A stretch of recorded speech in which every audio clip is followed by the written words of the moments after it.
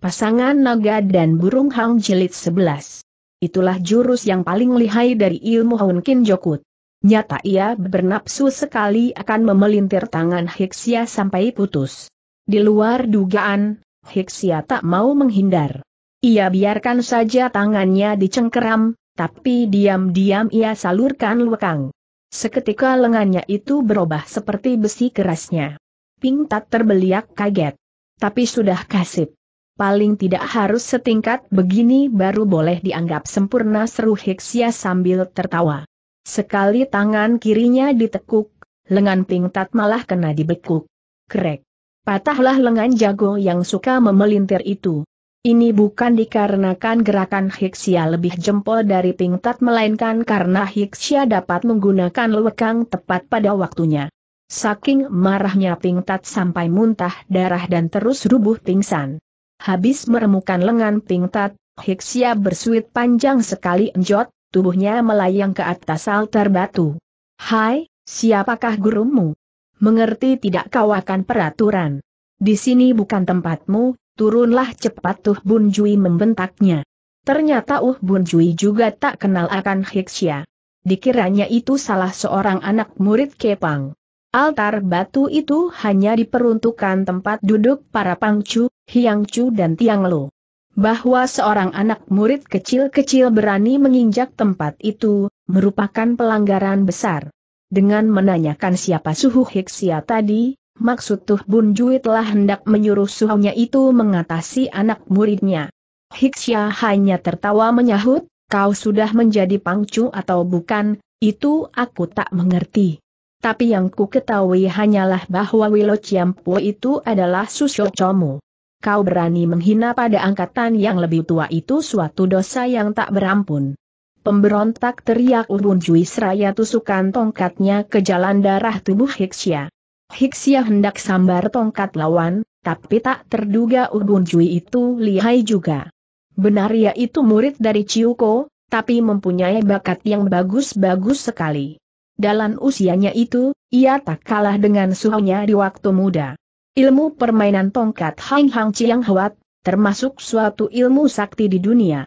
Kangou, bermula Hiksia tak memandang matu kepada Uh Bun Jui. Baru jarinya menyentuh batang tongkat lawan, tiba-tiba dirasanya tongkat itu bergetar dao tahu-tahu sudah lolos dari cengkeramannya. Terpaksa Hiksia gunakan siasat lain. Ia buru-buru miringkan tubuh dan mencentik dengan dua buah jarinya. Tongkat itu terpental dan tangan Uh Bun Jui kesakitan sekali. Hiksia maju merapat untuk menghadapi permainan tongkat Hang Leong Chiang Huat dari Uh Bun Jui. Meskipun Uh Bun Jui lihai juga, namun tetap bukan tandingannya Hiksia. Dalam sepuluh jurus saja, ia sudah gelagapan. Dan ketika pada lain saat Hiksia membentak, lepaskan, dengan tusukan jari tengahnya yang membuat Ubun Jui meringis, tongkatnya pun terlepas mencelat ke udara. Tapi pada waktu Heksia hendak menyambuti, tiba-tiba ia merasa ada angin menyambar punggungnya.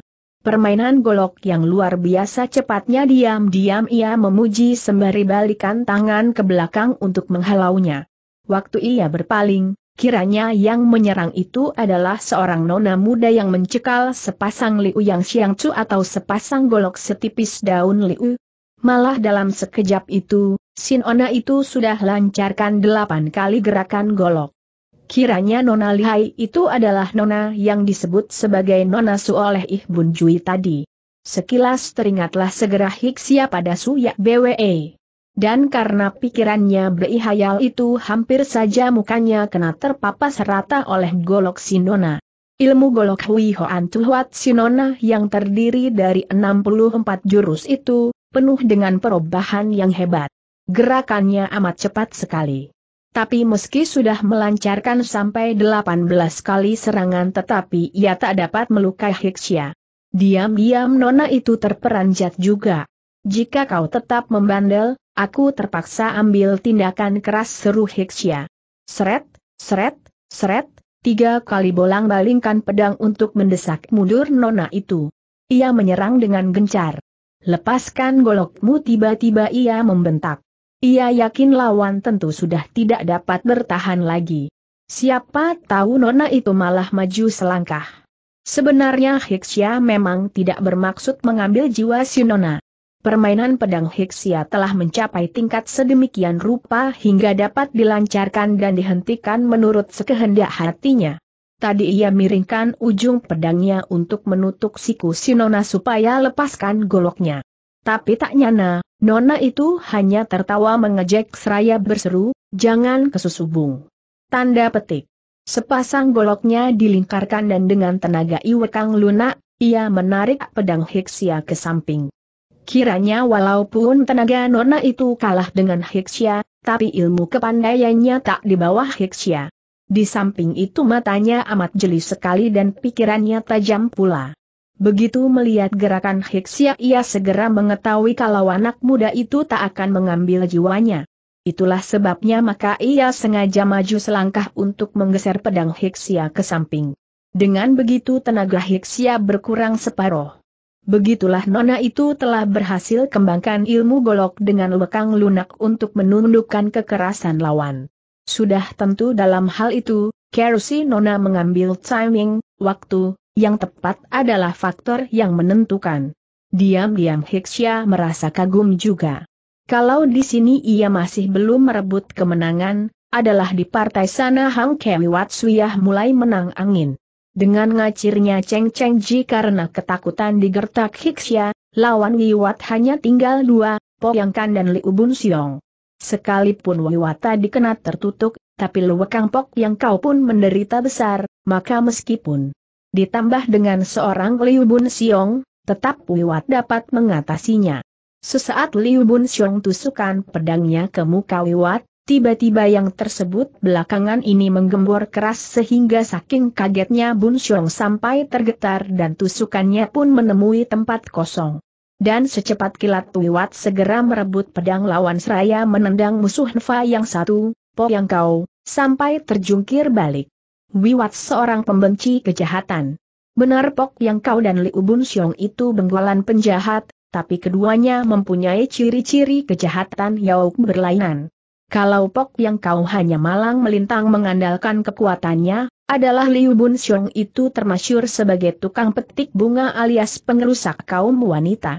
Di antara kedua orang ITM, Wiwat benci kepada Bun Siong. Pedang yang dirampasnya tadi segera ditimpukan kepada orang Shiliu itu. Sebenarnya ilmu Gin Kang Liu Bun Siang cukup lihai dan lagi saat itu ia sudah menyingkir sampai belasan tindak. Namun tak urung ia tetap termakan pedang timpukan Wiwat juga. Ujung pedang dari punggung menembus sampai ke dada. Pok yang kau cerdik sekali.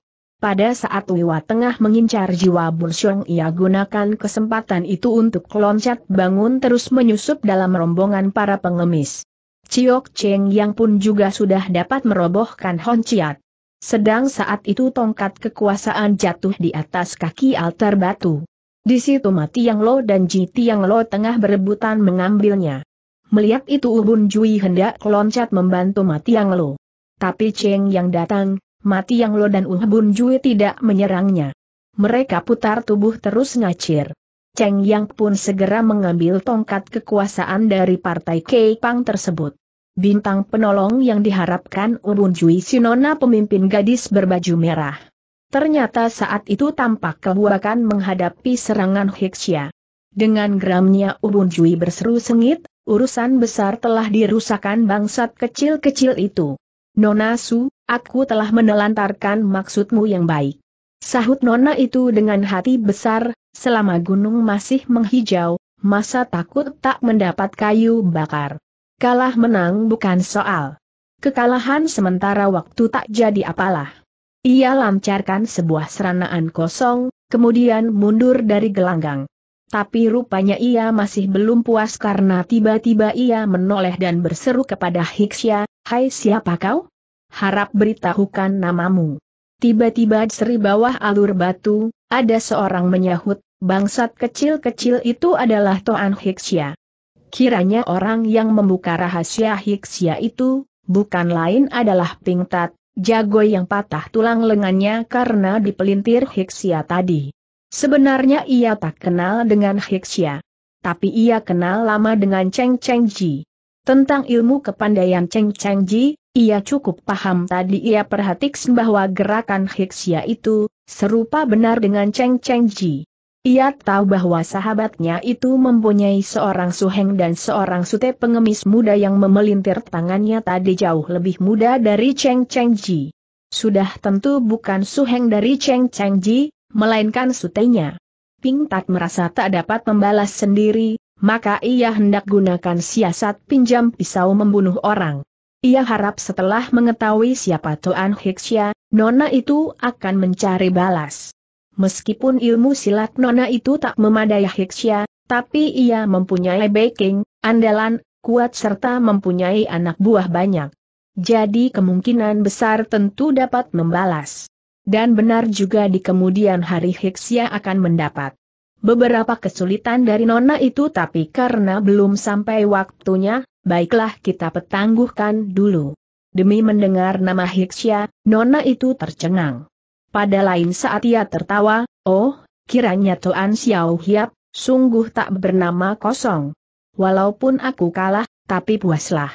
Dengan putar sepasang golok ria, ia lindungi Unbun Jui. Dengan diikuti oleh barisan wanita merah dan angka buah Uh Bun Jui, mereka menerobos pergi, Ciok Cheng yang tak mau menimbulkan pertumpahan darah besar, buru-buru ia acungkan tongkat untuk mencegah anggota-anggota Kei Pang yang hendak mengejar mereka. Hiksya menghapus arang di mukanya dan menjumpai Hang Kewiwat. Jago tua dari Kei Pang itu tertawa girang, sungguh tak kecewa menjadi putra Toan Tai Hiap. Ayahmu tentu akan bersenyum gembira di alam baka. Ciok Cheng Yang dan Ji Tiang Lo pun menghampiri untuk menghaturkan terima kasih kepada Hiksya. Sayang Uh Bun Jui dan Mati Yang Lo dapat lolos. Kukira kerisauan Ciu Pang Chu tua tentu ada sangkut pautnya dengan mereka berdua. Entah siasat apa yang mereka gunakan kata Ji Tiang Lo. Kata Wiwat, mereka tentu pergi ke Tiangan untuk mengacau Eng Hiong Tai Hwe yang diselenggarakan Chin yang sebenarnya aku tak berhasrat hadir, tapi berhubung ada urusan ini, terpaksa aku harus ke sana. Ciok Cheng yang segera menuturkan hasil penyelidikannya ke Tiangan. Kiranya To Kamlok menganiaya Wei Hiang Chu itu terjadi pada tengah mayam, tempatnya diatur di Paseban dalam dari Huntio, anak cabang, Kei Pang di Tiangan, Rencana itu telah diatur Tio Kamlo sedemikian rupa, sisanya ia cari-cari alasan merobek surat untuk Wei Hian Chu ya. Percaya rencananya itu pasti takkan ketahuan orang, tapi tak nyana seorang anak buah Kei Pang telah tak sengaja mempergokinya. Pengemis itu menjadi pencuri dan dikejar alat negara. Ia tahu dirinya tak dapat berdiam di Tiangan lagi. Maka malam-malam ia pergi ke tempat Wei Hiang Chu. Maksudnya hendak minta perlindungan dari Hiang Chu itu ia hendak serahkan barang curiannya itu kepada Wei Hiang Chu dengan permintaan supaya dikembalikan kepada pemiliknya, secara kebetulan sekali, ia mengetahui rencana kecil-kecil dari Tiok Kamlok. Pengemis pencuri itu sembunyi di dalam tumpukan genteng di bawah jendela. Mengetahui apa yang terjadi di dalam ruangan, kejutnya bukan kepalang, ia tak berani keluar dari tempat persembunyiannya, pun setelah peristiwa itu ia tetap tak berani bicara pada lain orang. Baru setelah Ciok Cheng yang datang membuat penyelidikan, karena yakin Cheng yang pasti dapat melindungi dirinya, pengemis itu berani membuka rahasia. Tampaknya penganiayaan terhadap Wei Hiang Chu dan Suhangku itu adalah dua buah perkara. Tapi besar kemungkinannya mempunyai hubungan satu sama lain, kata Cheng Yang. Betul. Wei Hiang Chu itu adalah pengikut dari Chiu Pang Chu. Pengkhianat-pengkhianat itu menganggap jika tak lenyapkan Wei Hiang Chu tentulah sukar buat Tuh Bun Jui merangkai cerita sandiwaranya, kata Ji Tiang Lo. Apakah kau meragukan kalau Chiu Pang Chu tak datang ke tiang antanya Loksan Lua Antong Chu? Kupikir makin mencurigakan. Hektometer, siapa tahu jangan-jangan Suheng masih hidup dunia, Tiba-tiba Cheng yang berseru. Katanya lebih lanjut. Pada hakikatnya Chin Xiang belum berjumpa dengan Su Heng. Menilik kedudukan dan pribadinya aku percaya ia tidak berdusta. Waktu ku mau menyelidiki di Tiangan, anak buah Kei Pang di Tiang An juga tak pernah bertemu dengan Ciu Pang Chu. Jiti yang lo menyeletuk Yaa, memang aku sudah menyangsikan. Dengan lancar sekali Ubun Jui menuturkan tentang peristiwa dicelakainya Ciu Pangcu, tapi tak ada saksi sama sekali. Paling ia mengatakan Tiok Kamlok yang menyaksikan. Tapi kini setelah nyata Tiok Kamlok lah yang membunuh Wi Hyang Chu, cerita Uh Bun Jui tidak dapat dipercaya lagi. Turut pendapatku, 90% tentulah Uh Bun Jui bersekongkol dengan Tiok Kamlok. Dengan membunuh Wi Hyang Chu, tak ada orang lagi yang menyangsikan keterangan Uh Bun Jui tetapi setiap kebohongan itu tentu bakal ketahuan. Ciok Cheng yang melanjutkan kata-katanya lagi.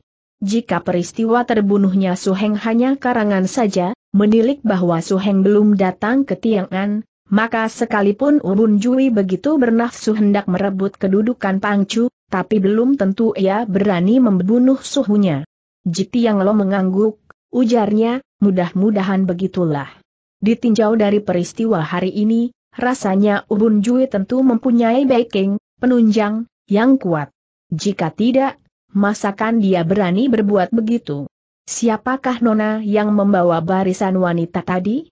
Tampaknya baik sekali hubungannya dengan Uh Bun Jui apakah kalian tahu tanya Cheng Yang.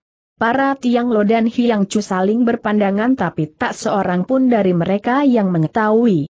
Budak busuk itu benar, biar ku selidiki asal-usulnya, tapi sekarang ini baik kita jangan hiraukan ia dulu, masih ada lain urusan yang lebih penting, kata Wiwat. Jiti yang lo menyetujui ya, benar, sekarang kedudukan Pangcu jangan diberikan kepada Uh Bun Jui, Wi Susiok, pengangkatan Pangcu baru tak boleh ditunda-tunda lebih lama, harap kau orang tua yang memutuskan. Cheng yang kau adalah orang satu-satunya yang diharapkan seluruh anggota Kepang. Kau sajalah yang menjabat Pangcu jangan menolak lagi, kata Wiwat. Hidup matinya Ciu Suheng masih belum ketahuan, masakan aku lantas menduduki jabatan itu bantah Cheng Yang. Jawab Wiwat dengan tandas, negeri tak boleh satu hari pun tak ada kepalanya, begitu pula dalam partai kita tak boleh sehari tak punya pemimpin banyak nian pekerjaan yang harus kita selesaikan, untuk itu kita harus punya pemimpin. Jika keadaan suhengmu belum jelas, dan kasungkan menjadi pangcu biarlah untuk sementara kau menjabat sebagai wakil pangcu saja. Wiwat bergelar Hang Kai atau pengemis gila, tapi apa yang ia ucapkan tadi benar-benar jitu sekali, Ciok Cheng yang tak dapat menolak lagi. Begitulah Wiwat dengan segera mengadakan persidangan anggota dan mengumumkan tentang hal itu. Oleh karena golongan yang anti Cheng yang saat itu sudah ikut pada Uh Bun Jui, maka pengangkatan itu telah disambut dengan persetujuan aklamasi atau suara bulat. Setelah urusan partai selesai, berkatalah Wiwat kepada Hiksya, Toan Xiao Hiap, pengemis tua masih hendak minta bantuanmu untuk sebuah urusan. Hiksia tersipu-sipu mengiakan dan minta pengemis tua itu mengatakan, Sungguh memalukan sekali bahwa dalam partaiku telah muncul seorang pengkhianat semacam Wah Bun Jui itu. Dia bersekongkol dengan kawanan Durjana hendak mengacaukan rapat dari Chin Xiang. Apa maksud yang mereka rencanakan? Itu, sekarang masih belum jelas. Tapi bagaimanapun, rencana mereka itu bukan bermaksud baik, kita harus menjaganya. Sekarang aku si pengemis tua ini masih belum dapat berangkat. Kau mempunyai ilmu ginkang yang tinggi, apakah suka mewakili aku berangkat ke Tiangan lebih dulu untuk memberitahukan Chin Xiang? Hiksia berpikir sejenak, berkata, aku sanggup mengerjakan perintah Lo Chiampo itu, tapi aku pun mempunyai sebuah hal yang akan mohon bantuan Lo Chiampo juga. Katakanlah, kata Wiwat. Tentulah Lo Chiampu sudah mengetahui tentang peristiwa tentara negeri menggempur Gunung Kim Kenia, Toako Kutiat Molek dan Bos Sekiat membawa anak buahnya menuju ke Hose. Di sana mereka tengah menyusun kekuatan lagi. Aku mendapat perintah dari Tiat Toako untuk mencari seseorang. Orang itu telah ku ketemukan, tapi ia menolak kuajak pulang. Terpaksa sekarang aku hendak pulang melapor pada Tiat Toako. Oleh karena Wiwa tak tahu bahwa orang yang dicari Hiksya itu ternyata seorang nona yang bakal menjadi istrinya, Maka bertanyalah pengemis tua itu. Siapakah orang itu? Apakah penting sekali? Dia bukan orang persilatan, melainkan seorang. Seorang sahabatku yang baik, sahut Hiksia dengan terputus-putus. Oh, tahulah aku. Kalau sekarang sedang giat mengumpulkan orang gagah. Tentulah hendak minta orang itu masuk ke dalam perserikatan kalian, seru Wat. Pengemis gila itu tak mau minta penjelasan apakah sahabat Hiksya itu pria atau wanita. Dengan sembarangan saja, ia menduga-duga semaunya. Hiksya berduka, ia tertawa getir, bagaimana pendirian orang itu, telah ku ketahui jelas. Tak nanti ia mau bergabung pada kita. Tapi tak apalah. Tanda petik. Hang Kewiwat itu sudah tua, tapi suka ceriwis. Cepat ia memberi komentar, betul, Toa Komu Tiat Molek itu luas sekali pergaulannya. Jika ia mau bergerak, tentulah dengan mudah akan mendapat sambutan baik dari orang gagah di empat penjuru. Kurang satu orang itu, tak jadi apa. Benar, Lo Ciampul. Tetapi jika aku tak lekas-lekas pulang tentulah Tiato aku amat mengharap-harap. Oleh karena itu, hendakku mohon kepada Lo Ciampo agar menyuruh seorang anak murid Kei Pang memberitahukan kepada Tiato aku bahwa aku sedang pergi ke Tiang An. Selain itu, meskipun Kim Kenia diserang oleh tentara Gilun Kun, tapi hubungan pribadi Toako dengan Chin Xiang itu tetap baik. Dalam hal ini harap Tiat Toako mengetahuinya. Wiwat tertawa. Tiat Molek memimpin kaum Hiong. Pun bos sekiat itu seorang Lok Lim Beng Chu yang baru. Tidak usah kau katakan, aku pun sebenarnya hendak melaporkan hal itu kepada mereka.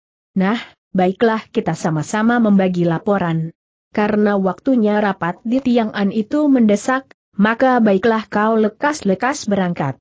Begitulah setelah saling menetapkan rencana pembagian tugas, Hixia segera berangkat ke Tiangan. Dengan gunakan ginkang, pada hari pertama Hixia dapat menempuh jarak tahun 300-an li lebih. Hari kedua ia sudah tiba di Guiqiu, sekarang Provinsi Hopak. Tiba-tiba ia berpapasan dengan suatu rombongan rakyat yang terdiri dari laki perempuan, tua muda dan besar kecil-kecil.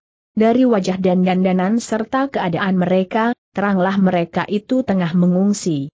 Waktu Hixia menanyakan, Pak Tua yang menjadi pemimpin rombongan itu menyahut dengan heran, engkau kecil-kecil, apakah kau tak tahu bahwa Sutiaogi telah menderita kekalahan? Pasukannya yang kalah itu kini mundur ke Pokyap. Di mana tempat yang dilalui, mereka merampok rakyat.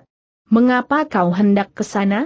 Kau masih begini muda baik ketemu tentara negeri maupun tentara perampok, kau tentu dipaksa turut mereka. Yang dikatakan Sutiaogi oleh Pak Tua itu, adalah putra dari Susubing, itu jenderal dari Anloksan. Setelah Anloksan dibunuh oleh anaknya sendiri, Anging Hai, maka anak buah Anloksan menjadi terpecah belah. Panglima KW Ecugi dari kerajaan Tong Tiao dengan mudah dapat membasmi mereka. Untuk sementara waktu, Susu Bing menakluk pada kerajaan Tong. Tapi tak lama kemudian ia dapat menyusun kekuatan lagi, dan berontak. Setelah berhasil mengalahkan tentara gabungan dari sembilan Ciatusu, Panglima Perbatasan, ia mulai menyerang Lok Yang. Susu Bing dapat membunuh Anjing Hai dan lalu mengangkat diri menjadi Kaisar Taiyan Hongte. Tapi tak lama kemudian, ia dibunuh oleh puteranya sendiri yakni Su Tiaogi. Kerajaan Tong Tiao memerintahkan Li Kongpik mengganti kedudukan Kwe Chugi untuk memukul Su Tiaogi.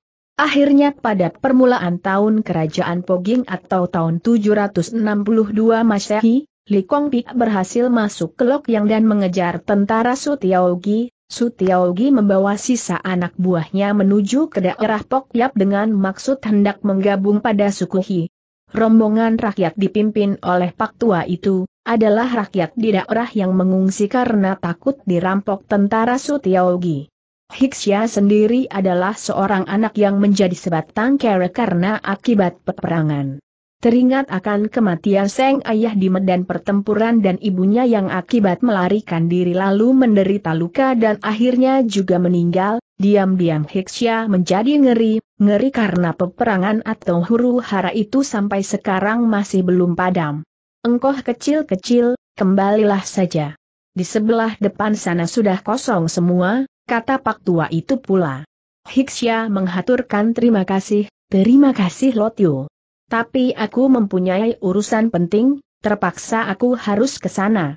Terserahlah pada nasib. Karena Hiksya tak mau mendengar nasihatnya, Pak Tua itu hanya menghela napas panjang.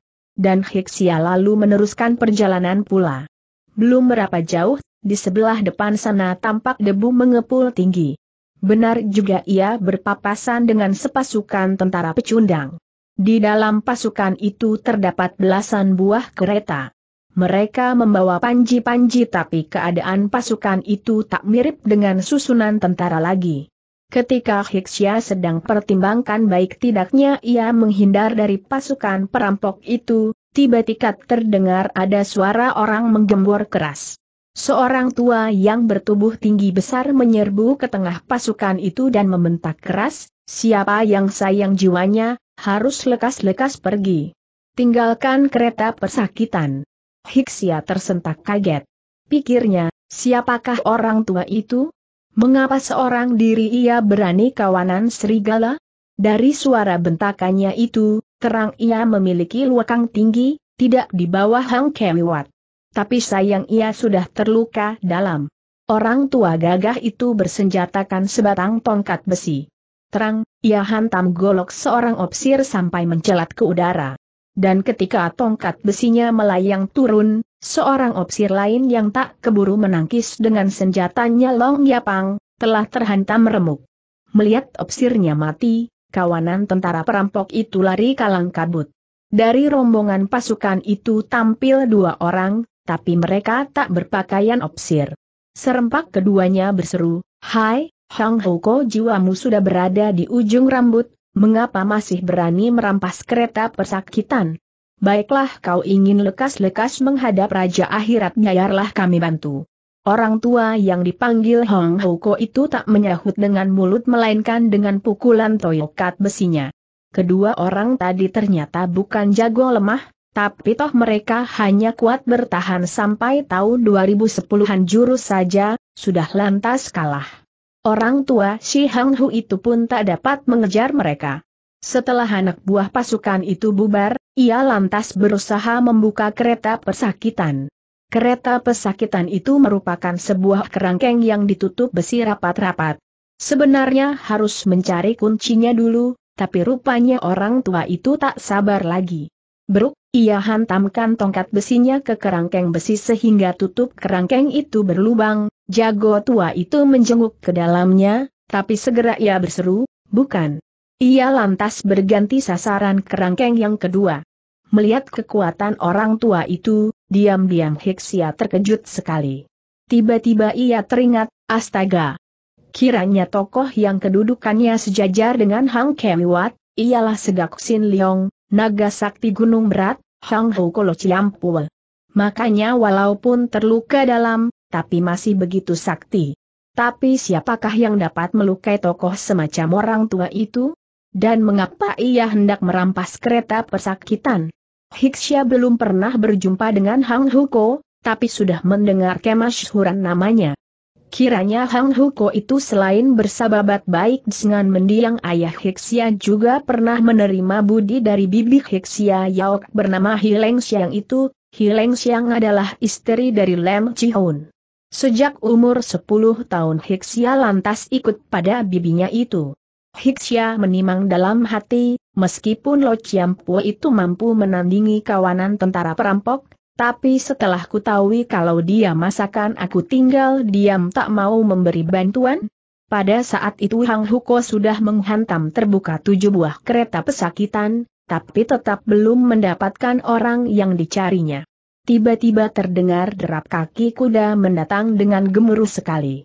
Penunggang kuda yang paling depan sendiri, Seorang tua berwajah jelek kejam, tubuhnya kekar dan matanya hanya tinggal satu. Astaga! Hiksia tersirap kaget Cit Poh Tui Hun Yobok lo.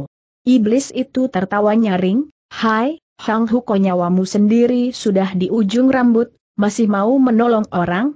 Mari biar kuantar ke akhirat. Wut, iblis itu loncat dari kudanya. Dengan gerak Ken Leong Chiu atau gerak menabas-nabas naga, ia berjumpalitan di udara terus menghantam lawan, Hang Ko menyambutnya dengan jurus KHI Hwe Liao Tian atau mengangkat api membakar langit. Tongkat diarahkan ke dada Yobok Lo. Berak, pukulan iblis Shio tadi telah berhasil mementalkan tongkat Hang Ko ke samping. Sebenarnya ilmu kepandaian Hang Ko tak kalah dengan Yobok Lo. Tapi karena sebelumnya ia sudah terluka dalam lebih dulu, kemudian mengamuk menghantami kerangkeng besi, tenaganya berkurang banyak sekali. Maka dalam adu kekuatan yang pertama itu, Yobok Lolah yang menang angin. Iblis Shio itu, tak mau memberi hati. Baru kakinya turun ke bumi ia sudah enjot lagi menerjang Hang Huko membabat ke arah kaki, tapi sebagai iblis yang bergelar Cit Poh Tui Hun, Tujuh langkah mengejar nyawa, Yobok Lo itu lihai sekali kakinya. Tendangannya tadi ternyata hanya pancingan, begitu Hang Huko menghantam, dingin berdiri sebelah kaki ia putar tubuh ke samping Hang Huko. Di situ secepat kilat ia menyambar tongkat orang.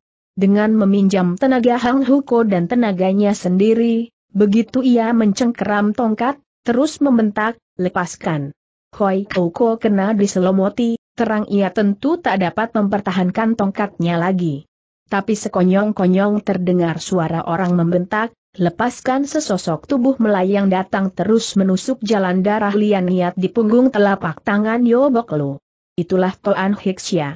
Ia datang tepat pada waktunya, Yobok Lo segera mengenali musuh besarnya itu. Sebuah matanya yang buta karena tusukan anak muda itu.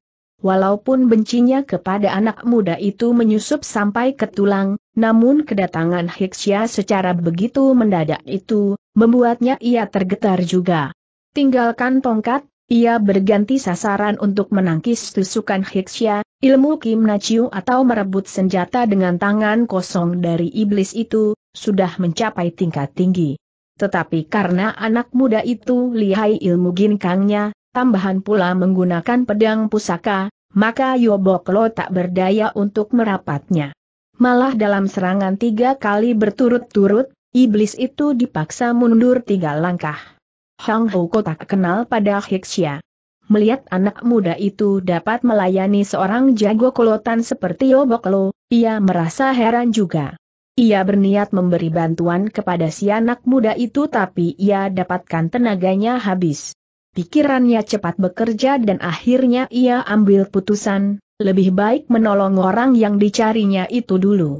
Dengan kertak gigi, ia gunakan sisa tenaganya umuk menghantam kereta pesakitan, namun sudah dua buah kereta yang dirusakannya, tetap orang yang hendak ditolongnya itu tak kelihatan. Pada saat itu, anak buah Hyobok Lo yang mengikut di belakangnya tadi pun sudah tiba. Dua orang opsir penunggang kuda loncat turun. Yang seorang mencekal. Ruyung Cat Mo Piao yang seorang mencekal Sam Chiat Kun atau tongkat tiga ruas. Cepat mereka menyerang Hiksia, tapi dengan sigapnya Hiksia menghindari cambukan pian untuk kemudian membabat Sam Chiat Kun. Hati-hati saking terkejutnya Hang Buko berteriak memperingatkan Hiksia. Tapi pedang Hiksia itu bukan sembarang pedang, terang, Terdengar bunyi menderng dan tahu-tahu tongkat Sam Chiat Kun sudah kutung sebuah ruasnya. Tiba-tiba tampak sebuah sinar putih berkelebat. Ternyata bagian tengah dari Sam Chiat Kun itu berlubang dan di dalam lubang itu dipasangi senjata rahasia Hukuting atau paku pembunuh tulang yang amat beracun sekali. Paku beracun secara mendadak keluarnya dan tidak diduga sama sekali oleh Hiksia. Jaraknya pun amat dekat sekali syukur tadi Hang Huko sudah meneriakinya lebih dulu, dalam saat-saat yang berbahaya itu, Hiksia unjukkan kepandaian ginkangnya yang istimewa. Ia buang tubuhnya mendatar seraya tubuhnya menyampok paku itu. Yang sebuah kena ditampar jatuh, yang kedua buah menyambar di bawah kakinya. Sedikit pun ia tidak terluka. Tapi di sebelahnya masih ada Yobok Lolaksana harimau buas yang siap menerkam seng korban, pada saat Hiksia tengah menghindar dari serangan paku tadi iblis itu segera lontarkan sebuah hantaman dahsyat tubuh Hiksia masih terapung di udara, jadi sadar untuk menghindar. Hang Houko berseru keras. Cepat ia timpukan tongkat besinya, kemudian menyusul menghantam, opsir yang bersenjata rayung Cat Mopian berusaha menyerbu tapi kena timpukan tongkat Hang Huko seketika kepala pecah, otaknya berhamburan keluar dan jiwanya melayang. Hang Huko gunakan sisa tenaganya untuk adu pukulan dengan pukulan Hiat Gong Chiang dari Obok Lo. Begitu kuat. Hang Huko menghantam, sampai mulutnya mendengus keras, plak, Yobok Lo tersurut mundur sampai beberapa tindak. Tetapi anehnya, Hang Houko tampaknya masih tegak berdiri tidak apa-apa. Sesaat Hiksia turun ke tanah, begitu ia memandang ke arah Hang Houko, kejutnya bukan kepalang. Ternyata jago tua itu wajahnya pucat seperti kertas. Sepasang matanya merah, Hiksia tak mau merangsang Yobok Lo lagi, melainkan perlu menolong Hang Huko dulu. Huak, mulut Hang Huko menguap muntah darah. Ternyata jago tua itu sudah kerahkan seluruh tenaganya untuk menghantam. Benar Yobok Lo kena dihantam mundur, tetapi jago tua yang sudah terluka dalam itu, kini makin bertambah parah lukanya, ia kehabisan tenaga betul-betul. Melihat kesempatan itu, opsir yang bersenjata Sam Chiat Kun tadi cepat timpukan dua buah paku Hukuiting lagi ke arah Hang Huko, tapi kali ini Hiksia sudah siap siaga, tak nanti ia kena dibokong. Cepat ia melejit ke muka untuk melindungi Hang Houko, kemudian putar pedangnya untuk menyampok jatuh Houkuting. Pada saat itu Yobok Lo sudah dapat memperbaiki posisinya dan mulai menyerang lagi, Hiksia cepat memanggul Hang Huko sembari maju menghampiri Yobok Lo. Yobok Lo heran dibuatnya, pikirnya, anak itu sungguh gila, mengapa ia senekat itu? Memang dengan memanggul Hang Huko, tentu berbahaya sekali bagi Hiksia untuk bertempur dengan Yobok Lo salah-salah keduanya Hiksia dan Hang Huko akan binasa semua. Memang Yobok Lo sendiri juga tak terluput dari luka berat. Tapi ternyata iblis Shio itu malah menjadi gentar dengan kenekatan si anak muda itu. Sebenarnya ia pasti menang, tapi sebaliknya malah jeri untuk adu kekuatan. Ia miringkan tubuh dan dengan gerak Cit Poh Tui Hun ia menyelinap ke samping Hiksia. Di situ ia memberi Hang Huko sebuah hantaman. Sekonyong-konyong Hiksia berganti arah. Tubuh, meluncur seperti anak panah terlepas diri busurnya. Rebahlah mulutnya kedengaran membentak. Kiranya Hiksia telah gunakan siasat suara di timur tapi yang diserang arah barat. Dengan mengandaikan ilmu ginkangnya yang jempol, ia menyergap ke tempat siopsir dan tahu-tahu pinggang opsir itu sudah berbisa sebuah tusukan pedang yang cukup membuat nyawanya melayang. Dengan berhasil membunuh opsir itu berarti Hiksya mendapat keringanan. Gusar Yobok Lo bukan oleh-oleh, tapi demi melihat walaupun dengan memanggul orang, tubuh anak muda itu masih dapat lari secepat kuda. Diam-diam Yobok Lo jadi kaget juga. Taruh kata dapat mengejarnya tapi belum tentu dapat merobohkan bangsat kecil-kecil itu, akhirnya setelah menimang-nimang sejenak. Yobok Lo terpaksa tak mau mengejar. Hiksya membawa Hang Houko ke atas gunung yang di sebelah muka. Di situ ia letakkan orang tua yang terluka berat itu. Dilihat jago tua itu sudah tersengal-sengal napasnya, wajahnya berwarna gelap, Hiksia terkejut, buru-buru ia tempelkan telapak tangannya ke punggung Hang Hu Ko. Ia salurkan lewekang untuk menolong orang si Hang Hu itu. Lewat beberapa menit kemudian Hang Hu Ko dapat membuka mata dan bertanya, siapa kau? Wampuatuan Hiksia. Toin Kui yang itu apa mu tanya Hang Hu Ko pula. Ayah Wampu sahut Hiksia. Mendengar itu Hang Hu Ko tertawa gelak, sungguh zaman itu selalu maju aku si pengemis tua dalam hari-hari terakhir dapat berjumpa dengan putra sahabat karibku, sungguh berbahagia sekali.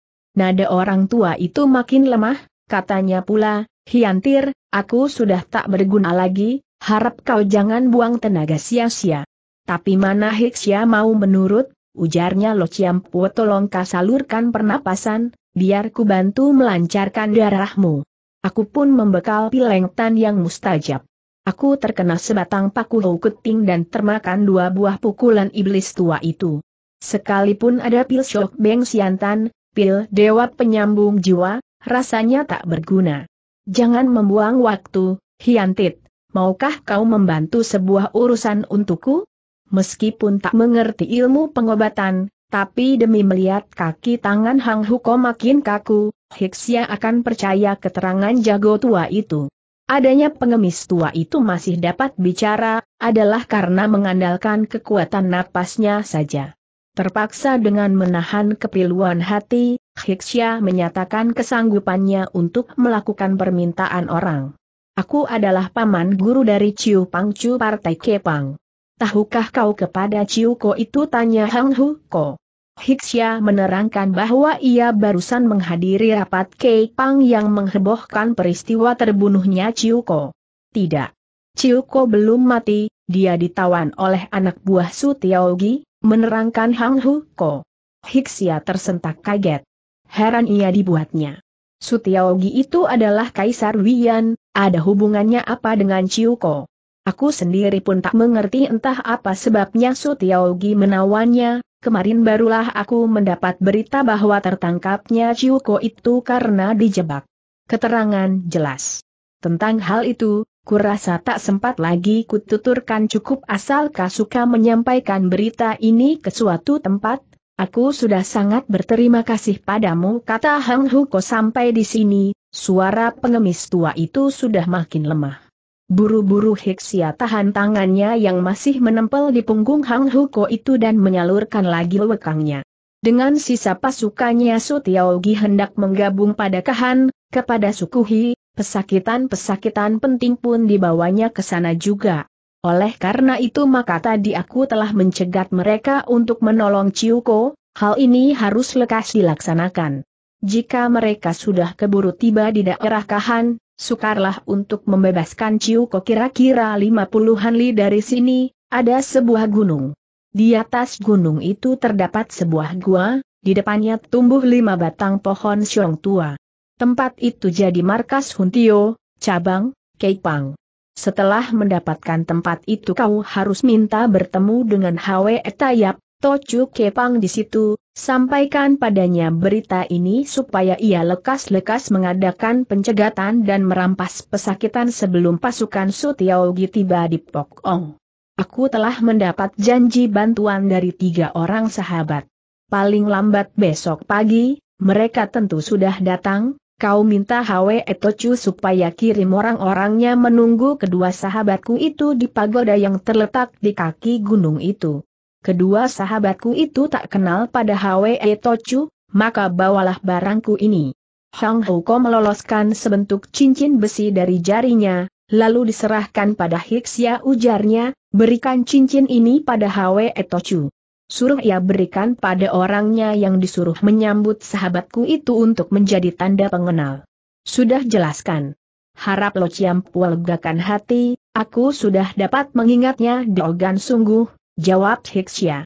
Hang Houko tertawa getir, 18 tahun yang lalu, aku pernah memberikan sebuah cincin kepada ayahmu karena hendak minta pertolongannya. Sungguh tak nyana. 18 tahun kemudian, aku harus menyerahkan sebuah cincin lagi kepadamu, juga untuk minta bantuan. Dengan kalian ayah dan anak, rupanya aku ternyata berjodoh. Suara tertawa reda, Sepasar kakinya berkelojotan dan Hang Huko menarik napas yang penghabisan. Hiksia amat berduka. Seorang pengemis luar biasa dari dunia persilatan, seorang tokoh persilatan yang sakti, telah meninggal secara menyedihkan di sebuah gunung belantara. Dengan pedang pusakanya, Hiksia menggali sebuah liang dan mengubur Hang Huko. Kemudian ia meletakkan sebuah batu besar selaku pertandaan. Setelah menyiram kuburan itu dengan kucuran air mata, Hiksia dengan hati berat meninggalkan tempat itu. Untuk jarak lima li itu, Hiksia hanya menggunakan waktu kurang dari satu jam. Ternyata gunung itu tak berapa tinggi. Mendaki ke atas dan mencari dengan teliti, cepat ia sudah dapatkan kelima batang pohon siong itu. Tapi heran ia tak melihat suatu gua pun. Aneh, apakah aku keliru pikirnya? Tapi ia hendak mencoba sebuah kera. Wampuetoan Hiksia mendapat perintah dari Ciampu Kei Pang Hang Huko untuk minta bertemu dengan Hwe Tochu, demikian dia berseru nyaring. Tiba-tiba tanah yang di bawah pohon syong yang di tengah itu mengungkap ke atas dan pada lain kejap berubah menjadi sebuah mulut gua. Malah menyusul ada seorang berseru. Titik dua apakah membawa bukti persaudaraan? Kiranya gua itu dibuat dari tanah di atasnya ditutup dengan tanah yang bertumbuh rumput. Jika tidak menyelidiki dengan seksama, orang luar pasti sukar mengetahuinya. Ada sebuah cincin besi dari Hang Hou Kolo Pual, sahut Hixia. Lemparkan cincin kemari untuk kami periksa, seru orang itu. Hixia menurut. Beberapa saat kemudian, orang berseru, aku ini Hwe Taiyap sendiri, silahkan masuklah. Menurut kepantasan, Hwe Taiyap seharusnya yang keluar untuk menyambut orang yang dimintai tolong oleh tetua Kepang. Sebaliknya malah Hiksia yang disuruh masuk. Meskipun Hiksia seorang pemuda yang tak menghiraukan segala macam peradatan tetek bengek namun tak urung merasa kurang senang juga. Diam-diam menganggap Hwe Etocu itu seorang yang angkuh. Namun karena berat melakukan pesan Hang Huko, terpaksa ia mengalah juga. Di dalam gua itu amat gelap, lebih-lebih Hiksia baru datang dari tempat terang. Samar-samar ia hanya melihat beberapa sosok bayangan orang kembali Kiksya mengerutu, hektometer, mengapa tahu ada tetamu, mereka tetap tak mau menyalakan lampu. Saat itu ia sudah berjalan masuk beberapa langkah. Tiba ia hentikan langkahnya dan timbul pikirannya hendak bertanya, tapi sekonyong-konyong ia mendengar bunyi senjata rahasia mengaum di udara dan berbareng itu tersiar bau yang harum. Untung Hiksya selalu siap sedia. Cepat ia cabut pedangnya dan bolang-balingkan kian kemari untuk menjaga diri. Dua buah ti cijong, dua batang paku tokuting dan tiga bilah belati, kena ditampar jatuh semua. Dalam sinar yang terpencar dari kelebat pedangnya itu, Hiksih melihat ada tiga orang maju menyerangnya, salah seorang bukan lain adalah Ji Suhengnya sendiri, Cheng Cheng Ji. Setan Ci kau telah memperdayai aku, sekarang aku juga menyelomotimu. Lihat pedangku, Cheng Cheng Ji tertawa dingin seraya menyerang. Cepat sekali ia lancarkan serangan itu. Dalam beberapa kejap saja ia sudah menyerang tujuh kali. Hiksia gunakan gerakan kaki Ipoho Ansing untuk berloncatan menghindar, serunya, Ji Suheng, jangan salah paham, kau bermusuhan dengan kepang itu, bisa menimbulkan bahaya maka meskipun aku telah menipumu, tapi aku bermaksud baik. Mengapa kau salahkan aku?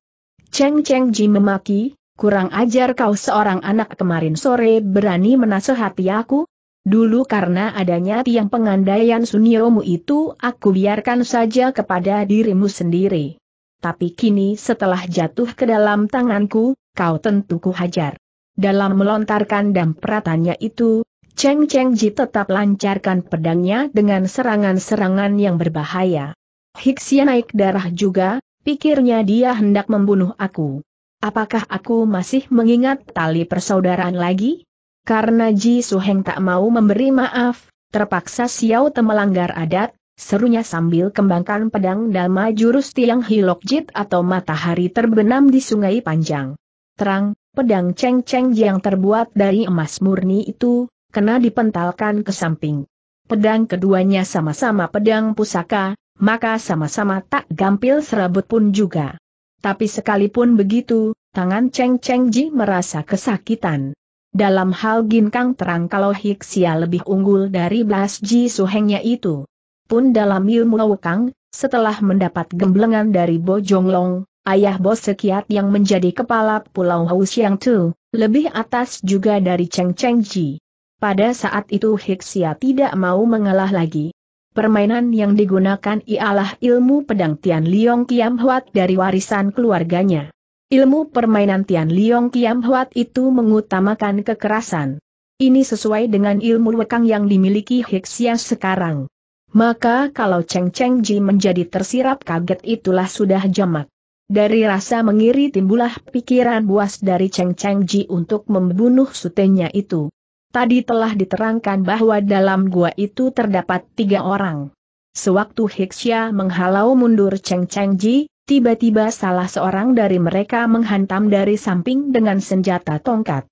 Orang, itu bukan lain adalah murid pemberontak Kei Pang yaitu Ubun Jui.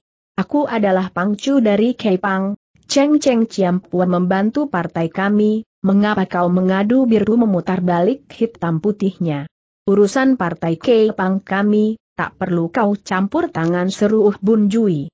Beradanya Ubun Jui di situ, telah membuat Hixia menjadi terang persoalannya, Uh Bun Jui tentu menduga bahwa Hang Ko akan datang ke markas gua situ, itulah sebabnya maka Uh Bun Jui mendudukinya lebih dulu.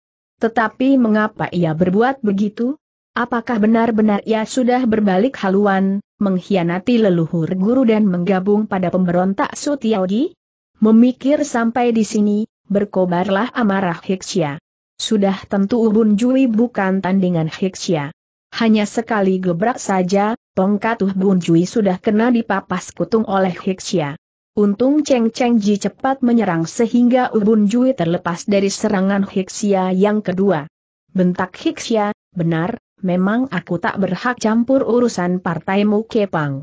Tetapi Hang Hu Kolo Ciampu berhak campur tangan. Beliau telah dicelakai orang sampai binasa, tahu tidak kau? Beliau suruh aku kemari, untuk menyampaikan kabar. Suhumu ditawan kaum pemberontak, tahukah kau? Asal kau masih punya setitik rasa nurani. Liang Sim, tentu akan berdaya untuk menolong suhumu. Tetapi kau ternyata menganggap aku sebagai musuh, apa maksudmu? Semprotan Hiksya itu membuat Tuh Bun Jui terlongong-longong tetapi pida lain saat ia tertawa gelak-gelak, telah ku ketahui semua urusan itu suhuku tak membutuhkan bantuanmu. Untuk melakukan karya besar harus menyampingkan urusan tetek bengek, kau tahu apa adik kecil-kecil? Betapapun aku ini adalah pangcu dari Kepang. Aku melarangmu turut campur. Ancaman itu dibarengi dengan sebuah hantaman tongkat. Hiksya masih mempunyai pikiran panjang. Bagaimanapun halnya, Uh Bun Jui itu adalah masih anak murid Kepang. Segala kedosaannya harus partailah yang memberi keputusan. Maka ia ambil putusan tak mau membunuhnya. Ia gunakan jurus Giok Li Jon Chian atau bidadari menyusupkan jarum, yakni sebuah gerak serangan yang memakai iwekang lunak, untuk menutup jalan darah Jiok Tihiat di siku lengan orang. Hiksia hendak menawan murid murtad itu hidup-hidup. Pertama, dapat digunakan sebagai barang tanggungan agar ia dapat keluar dari gua itu. Kedua, demi menghormati kewibawaan pimpinan Kepang untuk mengurusnya sendiri. Tapi ternyata Uh Bun Jui itu cukup licin. Ia tahu kelihayan Hixia, sudah tentu ia tidak berani bertempur sesungguhnya. Gerakan tongkatnya yang berkelebat ke sana tetapi mengarah sini, kosong isinya sukar diduga itu, memang diperuntukkan membuat supaya ia mudah mundur setiap saat. Untuk tusukan Hiksia yang tak mudah baginya untuk menangkis itu, telah dihindarinya dengan loncatan ke samping. Saat itu Cheng Cheng Ji pun sudah menyerang lagi dengan pedangnya. Benar Hiksia lebih unggul setingkat dengan Ji Suhengnya itu, tapi karena pada saat itu ia tengah kembangkan permainan lekang lunak, maka tak dapatlah ia mementalkan pedang Cheng Cheng Ji, Cheng Cheng Ji gunakan.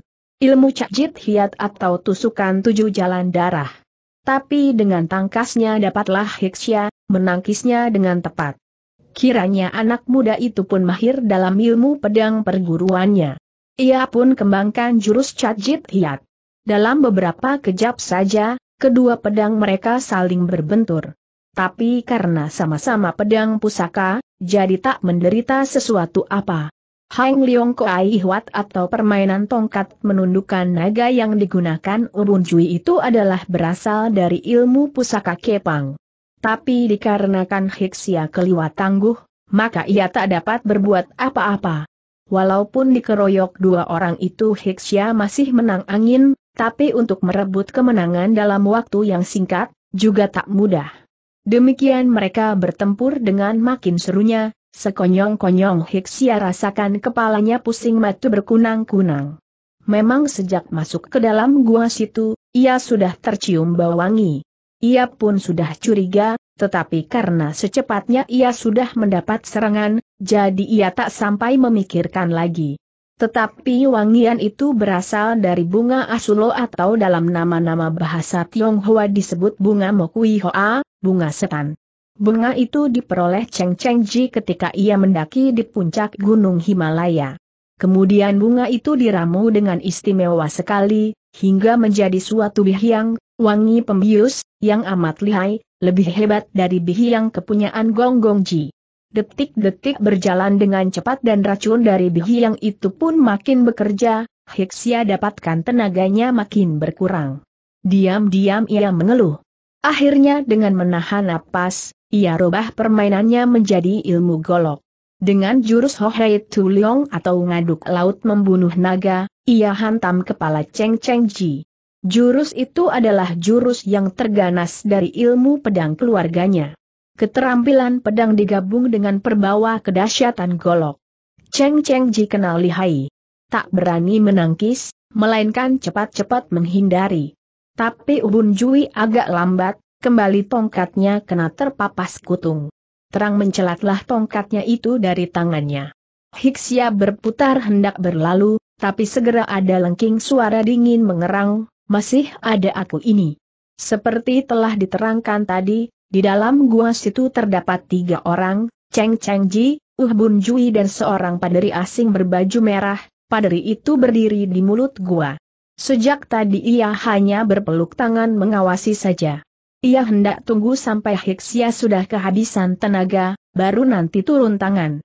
Hang Cheng atau paderi asing itu menggunakan senjata sepasang kecer, plat logam berbentuk bundar, dipukulkan satu sama lain untuk tetabuhan ketika Hiksya menusuk, paderi itu kemplangkan, benturkan satu sama lain, kecernya sehingga menimbulkan suara gempar yang mengalun sampai jauh ke lembah, Hiksya terperanjat, pikirnya, lihai benar paderi ini, tenaganya tak di bawahku. Tapi itu hanya penilaian Hiksya sendiri karena pada hakikatnya Iwakang Paderi itu masih kalah setingkat dengan Cheng Cheng Ji. Adanya Hiksya mempunyai anggapan demikian karena saat itu tenaganya sudah banyak berkurang. Mulut gua dihadang si padri, tiga kali Hiksya coba menerjang tapi kena dihalau oleh sepasang kecer si padri. Tiba-tiba dari belakang terdengar deru senjata menyambar, Cheng Cheng Ji kembali sudah datang menyerang, Hiksya menyabat ke belakang. Sabatan pedangnya itu ia lancarkan dengan sepenuh tenaga kedua pedang mereka munkratkan letikan api, tetapi bukannya mundur sebaliknya Cheng Cheng Ji malah maju dua langkah. Ujung pedang Kim Cheng Lo kiamnya ditujukan ke muka Hiksia tapi pemuda itu sempat menghindar. Melihat Hiksia mulai kehabisan tenaga, segera Uh Bun Jui berani menyerang lagi. Dengan menutup pernapasannya itu, bagaimanapun juga Hiksia tak dapat bertahan lama. Kembali ia harus mengambil napas tapi dengan berbuat begitu, ia seperti orang yang mabuk minum, kepalanya serasa pusing kepingin tidur sekali, Hiksya mengeluh, dengan kuatkan semangat ia tangkis pedang Cheng Cheng Ji. Bagus-bagus hendak kulihat kau yang mengajar aku atau aku yang mengajar kau, Cheng Cheng Ji tertawa mengejek. Set set, set, tiga kali ia lancarkan serangan lagi. Serangan pertama memapas kopiah Hiksya, yang kedua memutuskan ikat pinggang dan yang ketiga melubangi baju si anak muda. Ia tak mau melukai, melainkan hendak membuat malu saja. Hiksya gigit lidahnya. Pada saat Cheng Cheng Ji tertawa, sekonyong-konyong Hiksya kiblatkan pedangnya. Begitu pedang Cheng Cheng Ji terpental ke samping, ia lantas teruskan menggurat lengan orang hingga terluka. Beluk, Kakinya menendang Ubun Jui sampai jatuh jumpalitan. Dengan menggigit lidahnya tadi, Hiksya merasa kesakitan. Tapi dengan begitu semangat menjadi tergugah dan dengan perangsang sakitnya itu tenaganya pun malah bertambah. Malah kuat dari tenaganya semula. Cheng Cheng Ji tersentak kaget. Buru-buru ia pindah pedangnya ke tangan kiri kini ia menyerang dengan pedang tangan kiri dan menghantam dengan tangan kanan, ia gabungkan serangan keras dan lunak ganti berganti. Ilmu itu adalah ilmu pelajaran yang didapatnya ketika ia ikut pada Choan Lun Huatong. Dengan begitu Hiksia pun tak mengetahui Kerda memecahkannya. Daya perangsang dari gigitan lidahnya tadi kini sudah reda. Ketambahan lagi Hiksia harus menghadapi ilmu serangan yang tak dikenalnya. Kepalanya makin pusing, bingung ia bagaimana harus menghadapi. Ia dapat menghindari pedang Cheng Cheng Ji tapi tak mampu dari pukulan dan tutukan jarinya. Akhirnya sebuah pukulan Cena Cheng Ji telah membuat rubuh. Anak muda itu, Cheng Cheng Ji menambahi lagi dengan sebuah tutukan pada jalan darah pelemas. Hektometer, Coba saja kau masih keras kepala tidak Cheng Cheng Ji mendengus dingin. Ia terus hendak menusuk tulang pipah kut di bahu Hiksia untuk membuat kacau kepandaian anak muda itu. Saat itu Ubun Jui pun sudah tenggelam bangun. Terhadap anak muda yang membuat kacau urusannya itu, Ubun Jui benci setengah mati cepat-cepat diambilnya potongan tongkat terus hendak disabatkan ke kaki Hiksia. Terang-terang, si Paderi menghadang dengan sepasang kecernya, hingga pedang Cheng Cheng Ji dan tongkat Tuh Bun Jui terhalang. Dengan suara keren putri itu berseru, Chuan Paderi maukan hidup tidak boleh melukainya. Mendapat tutukan berat dari Cheng Cheng Ji dan menghirup obat bihiang yang keras, maka pikiran Hiksia menjadi limbung, samar-samar ia mendengar kata-kata Chuan Putri, Kongcu, tadi. Pikirnya, siapakah Chuan Putri itu? Tapi ia tak sampai memikirkan lagi, karena saat itu si Paderi sudah lantas menjinjingnya. Karena banyak menyedot bihyang, seketika Hiksya menjadi pingsan. Entah berselang berapa lama, tahu-tahu ketika Hiksya membuka mata, kejutnya bukan kepalang. Kiranya saat itu ia tengah berbaring di sebuah ranjang yang berkasur empuk dari sebuah kamar yang dihias indah. Pantasnya kamar itu adalah kamar dari seorang gadis orang berada. Hendak ia menggeliat bangun, tapi susah, tenaganya tak ada sama sekali. Ia bingung mengapa dirinya berada di situ. Tapi setelah merenung tenang, ingatannya berangsur-angsur kembali. Kini barulah ia teringat bahwa dirinya diculik oleh si Paderi Hoan Cheng. Tengah ia menggali ingatannya itu, tiba-tiba terdengar lengking tawa macam bunyi kelinting. Seorang darah muncul dan berkata, bagaimana, apakah di sini kurang enak? Maaf, telah membuat kau kaget. Tapi aku tak bermaksud jahat, melainkan hendak mengundarmu sungguh-sungguh. Kuatir kau menolak undanganku itu, terpaksa ku gunakan jalan begitu. Gadis itu bukan lain ternyata nona pemimpin barisan wanita baju merah yang dipanggil oleh Hubun Jui dengan sebutan Nona Su itu. Siapa kau? Aku belum kenal padamu, mengapa kau hendak mengundang aku? Tempat apa ini tanya Hiksya. Sekarang kau adalah tetamuku, tak khawatir aku menerangkan. Aku bernama Su Tiao Ing, adik perempuan dari Su Tiao Gi. Kau tak kenal padaku, tapi bukankah kau pernah mengatakan nama engkohku itu? Waktu ini kami menjadi pengungsi, jadi tak dapat menyediakan kamar tetamu dan terpaksa ku berikan kamarku sendiri. Apa kau merasa senang kata nona itu? Sutiaogi adalah putra dari Susubing. Ia bunuh ayahnya dan mengangkat diri menjadi Raja Yan. Tentang hal itu Hiksia sudah mengetahui. Kini baru ia mengerti bahwa yang dipanggil Chuan Putri oleh Paderi Hoan Cheng itu adalah Su Tiao Ing ini. Hiksia tertawa tawar, aku seorang rakyat jelata, tak berani bergaul dengan kaum ningrat. Apa maksudmu mendatangkan aku kemari ini? Darah itu tertawa, jangan marah dulu, maukah? Siapa dirimu penyamun? Hanya saja ayahmu lebih bernyali besar, berani melawan raja. Kaum pemberontak?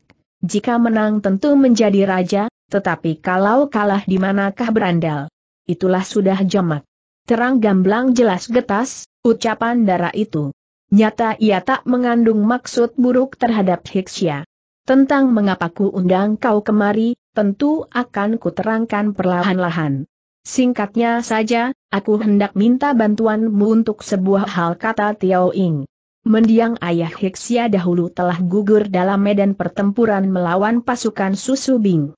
Jenderal Leng Hotiao adalah yang memimpin pasukan untuk menyerang kota Chiao yang yang dipertahankan Toan Kui Chiang. Meskipun Toan Kui Chiang tidak langsung terbunuh oleh Susu Bing tetapi secara tidak langsung ada hubungannya juga. Maka setelah mengetahui darah itu Putri Susu Bing, belum-belum Hiksia sudah mempunyai rasa antipati. Maka tanpa banyak pikir lagi, ia segera menyaut. Benar, aku ini seorang penyamun, tetapi aku tidak seperti kamu orang. Aku seorang penyamun yang tak punya cita-cita muluk, aku tak mampu membantu urusanmu. Gadis itu tertawa, jangan kaliwat merendah diri dululah. Hiksia tertawa tawar, dan lagi aku pula tak suka membantumu. Terserah bagaimana kau hendak mengapakan diriku. Tiba-tiba gadis itu tertawa nyaring. Apa yang kau tertawakan teriak Hiksia dengan marah. Aku menertawai dirimu seorang lelaki, tak tidak lapang. Dada, sahut Su Tiao Ing. Hiksia terkesiap. Dalam hal apa aku tidak lapang dada tanyanya. Ku tahu mengapa kau benci padaku. Kau tentu masih teringat akan peristiwa pertempuran dahulu yang bukan?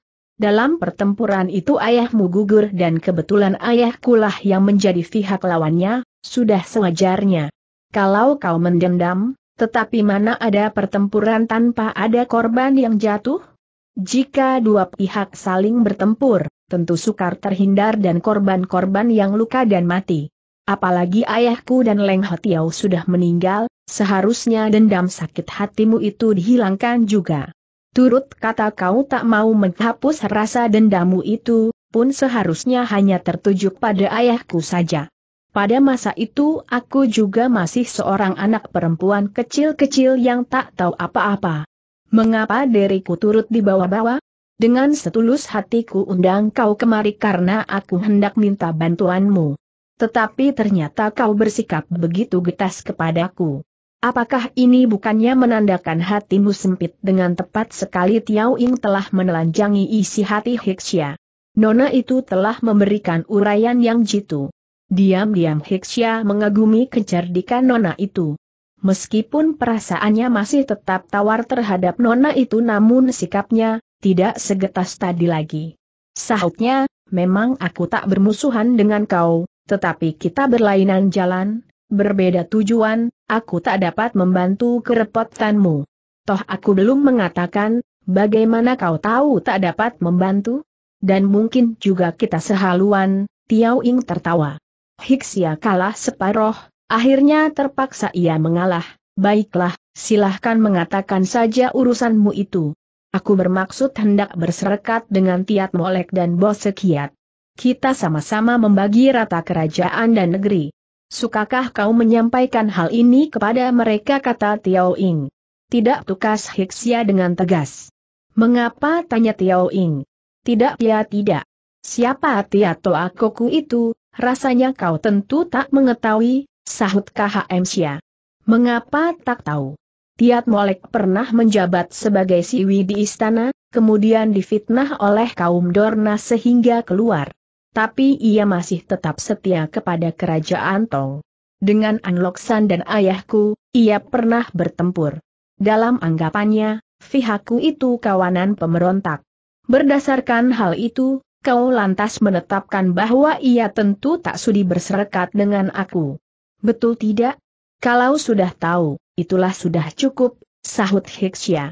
Dengan komentarnya yang terakhir itu, Hiksia hendak memutuskan pembicaraan, ia duga nona itu tentu tak dapat berkata lagi. Siapa tahu, Tiao Ing malah tertawa gelak. Mengapa kau tertawa lagi Hiksia heran dibuatnya. Ku tertawai kau terlalu gegabah dan menelan saja sejarah. Kerajaan Tong dan tak menyesuaikannya dengan suasana perubahan zaman, sahut Tiao Ing. Bagaimana aku tak dapat melihat perubahan zaman harap nona katakan kata Hiksia. Lain dulu lain sekarang, Anloksan adalah suku Oh, Utara. Ia ingin menjadi kaisar Tiongkok. Jika sekalian patriot Tionggoan tidak setuju, itulah sudah jamak. Keluargaku Sisu adalah orang Han. Jika orang Shili dapat menjadi kaisar, mengapa kami orang Shitiat orang Shibo dan kau Sicuan, tidak boleh? Ini dalil pertama. Dahulu Tiat Molek menjadi pengawal Kaisar Tong, sekarang menjadi pemimpin Loklim, begal. Bosikiat itu seorang yang punya ambisi besar, ku tahu hal itu. Mungkin Tiat Molek tidak berniat berontak, tapi keadaan sudah berkembang sedemikian rupa mau tak mau ia harus menetapkan putusannya.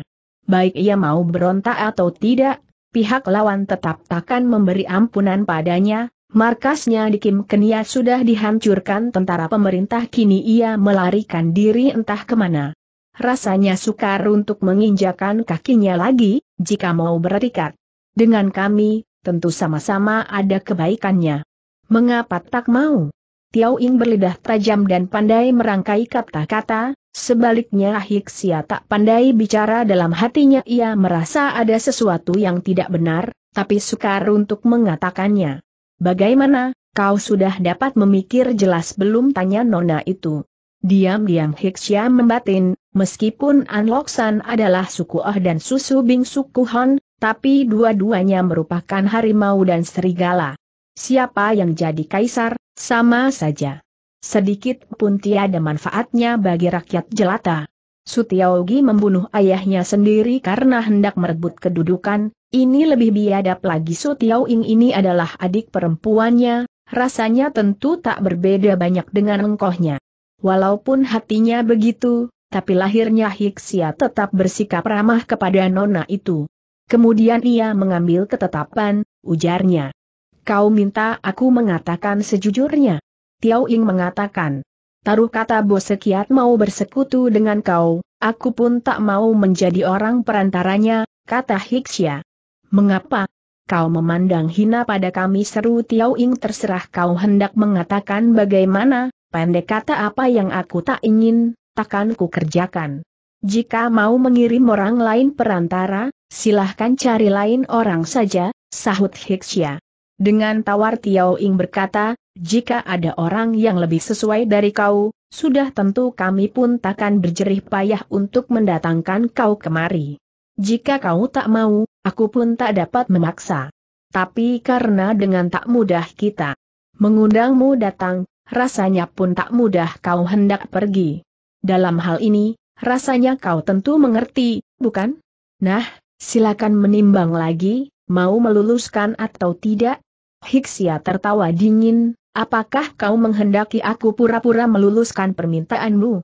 Sebenarnya aku dapat berbuat begitu, berbohong padamu. Tapi dengan tak pegang janji begitu, bukanlah laku seorang laki-laki perwira. Maka aku pun tak mau berbuat begitu. Mengertikah kau? Nah, rasanya sudah cukup jika hendak membunuh aku, silahkan saja. Kembali Tiao Ing tertawa gelak-gelak. Mengapa kau tertawa lagi-lagi Hiksia Kesima? Kali ini aku bukan menertawai kau, melainkan menertawai engkohku yang sudah salah lihat orang. Ternyata mataku lebih tajam dari dia, sahut Tiao Ing. Bagaimana tanya Hiksia? Engkohku berpendapat, dengan siasat paksa dan membujuk, dapatlah menundukkan kau. Tetapi pendapatku bertentangan. Kupandang kau seorang muda yang berpribadian kuat, jujur dan perwira. Apa yang kau pikirkan, tentu kau katakan. Tak mau membohongi diri sendiri pun tak mau menipu orang bagus-bagus, benar dapat digolongkan perilaku seorang laki-laki utama. Di samping puji, adalah menjadi kesukaan setiap orang. Tanpa merasa siap pun, tergerak hatinya. Pikirnya, nona ini cerdik dan berpambek tinggi. Sebenarnya dapat digolongkan sebagai pahlawan wanita. Sayang seorang nona begitu, rela menjadi pemberontak. Selagi berpikir begitu, tiba-tiba didengarnya ada suara berkeresekan pelahan sekali. Obat bius yang dihirup Hiksya masih belum hilang khasiatnya. Tenaganya lenyap tapi pendengarannya masih tajam. Jika lain orang tentu sukar menangkap suara berkeresekan yang sedemikian perlahannya itu. Siapakah orang yang lihai ginkangnya ini? Menilik Su Tiao Ing itu sebagai seorang kongcu, puteri, tentulah orang itu anak buahnya. Tapi jika benar orang sebawahannya, mengapa berani mencari dengar? Hem, apakah musuhnya yang datang Hiksya menimang-nimang dalam hati? Tapi ditunggu sampai sekian jenak, tiada terdengar suara apa-apa lagi. Rupanya Tiao Ing merasa juga. Tiba-tiba ia berkata, biarlah kubukakan jendelanya, ya, Cepat tangannya mendorong daun jendela, ternyata di luar tak kelihatan suatu apa, tapi dengan telinganya yang tajam itu, dapatlah Hiksya menangkap bahwa suara itu hilang berbareng pada saat Tiao Ing membuka jendela. Orang itu tentu sudah kabur.